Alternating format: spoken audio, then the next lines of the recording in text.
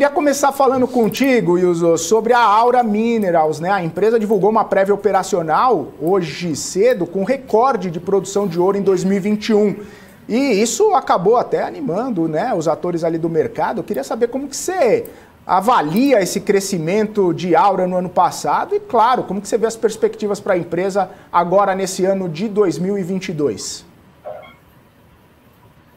É, eu, eu acho que a empresa ela sofre de uma desconfiança muito grande do mercado, é, basicamente por conta do setor dela, né? É um setor que é arriscado, é, muitas vezes você tem que explorar realmente para saber se tem reserva ou não, né? Então, é, exige ali um nível de investimento razoável até você conseguir é, comprovar realmente a viabilidade de uma determinada mina, né?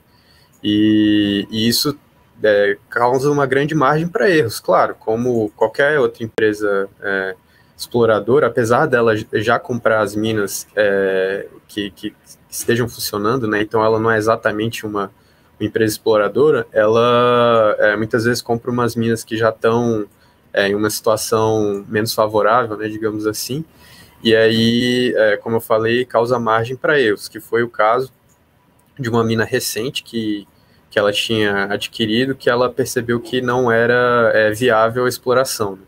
E aí o mercado bateu bastante no, no papel e se criou um clima é, de, de, desconfiança que já não era dos melhores por conta dela ser uma small cap, é, com pouca cobertura, né? Enfim, então é, já era uma empresa meio obscura e, e, e também essa questão da, da, da mina é, não, de não ter viabilidade comercial acabou afetando um pouco a percepção do mercado. Né?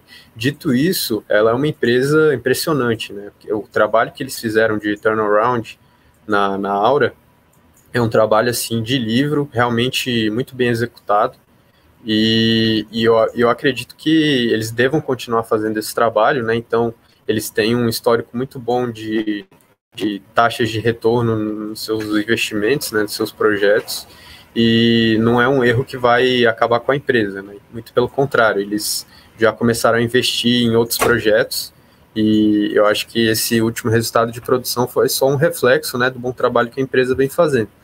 Inclusive, é, com algumas contas rápidas, eu acho que dá para ter um retorno bem favorável na, na Aura se, se o investidor tiver um pouco de paciência.